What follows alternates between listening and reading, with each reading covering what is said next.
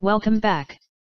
This is a video for a post that I want to do about the letters S and U, in English, and the hieroglyph that is meant by these letters.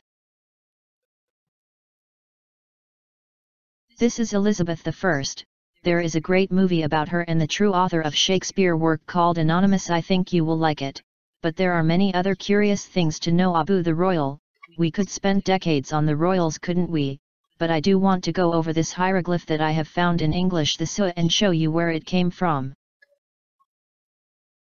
Close-up of St. John painting showing the serpent emerging from the chalice.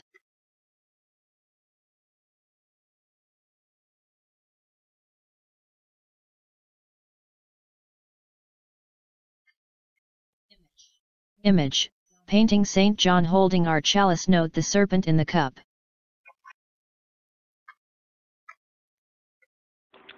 So here we go with the hieroglyph. It's just pretty simple. And uh, I got my TV phone camera here. My other one won't focus up real close like this. So it, and you get to hear my voice. So here's the U. And the S. Now, the U has a number of 21, which is a 3 when you reduce it and there is a way to tell if it's facing upward or downward if you find the 21 in another number. But because this is the chalice, this 3 is a downward 3 because that is the female triangle. Okay, so there's your U. And here is your S. Oh, I meant for it to go in here. Alright. We'll make it like this. Okay, I hope you can see that. So there is your original serpent in the chalice. And, you know, there's just uh, no lack of code here. It, it does mean us, as in you and me, because this language was meant for the gods to speak.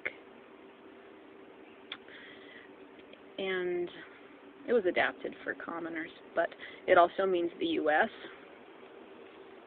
It means albus, which is white us. It just goes on and on. but isn't that interesting? We will go and we'll go, you know, I'll tell you is all the hieroglyphs that I know. I hope this video works. So I was looking at this also and thinking that it could also be like this. There's your chalice. Let's do a really good S snake this time. I believe these guys are small. We can Stargate. And then let's take this and put it here.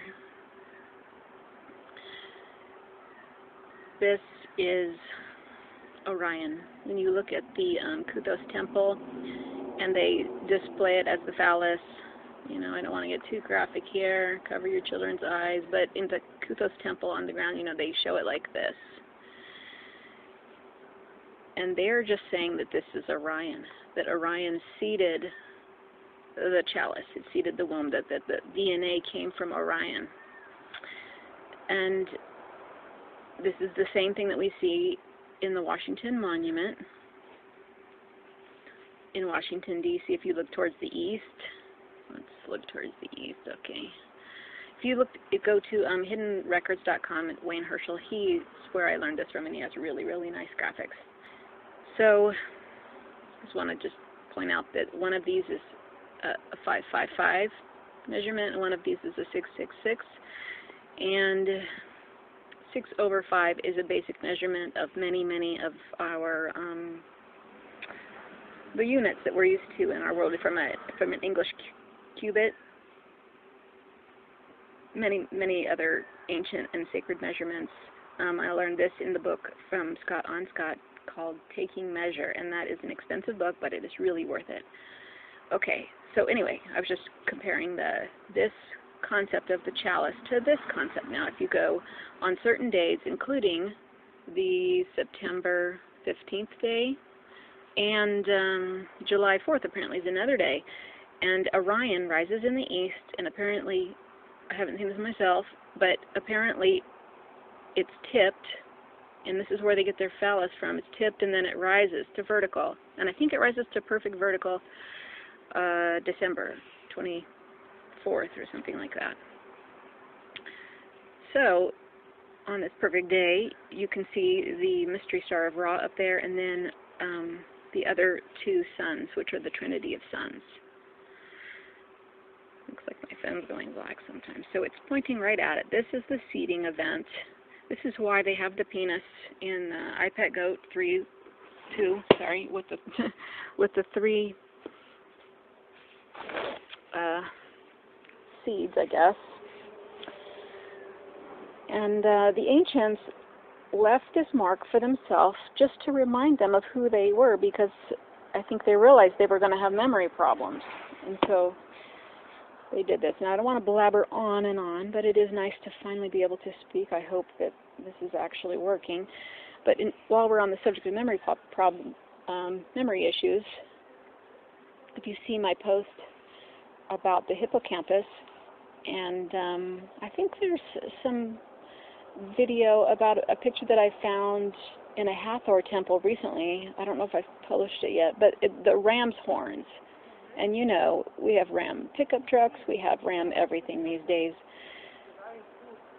And the Catholic Church makes it out to be a, a sign of evil, you know, and, uh, you know, I'm not going to say that there's not evil in the world, but I don't know if the Catholic Church is the one to point out evil versus not evil. So we need to keep our, our um, you know, set our morality aside for a minute and try to notice who's speaking and who is listening, and uh, question these guys.